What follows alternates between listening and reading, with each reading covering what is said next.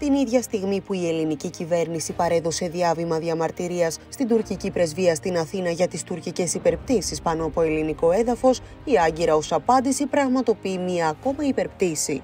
Συγκεκριμένα, τρίτο ζεύγος τουρκικών αεροσκαφών F-16 πραγματοποίησε υπερπτήσεις στις 5 και 17 ανώθεν ίσους λειψή στα 27.000 πόδια και στις 5 και 18 ανώθεν ίσους αρκή στα 14.000 πόδια. Με απλά λόγια, η Άγκυρα περιφρόνει την Αθήνα γιατί δεν απαντά ενόπλης, υπερασπιζόμενη τον ελληνικό εναέριο χώρο. Νωρίτερα, σήμερα Τετάρτη, η τουρκική πολεμική αεροπορία προέβησε κύμα μαζικών υπερπτήσεων πάνω από 7 κατοικημένα ελληνικά νησιά. Τουρκικά F-16 πέταξαν ακόμη και πάνω από τη Σάμο, τους Αρκιούς, τους Λειψού, το Αγαθονήσι, τους Φούρνους, τις Ινούσε και το Φαρμακονήσι.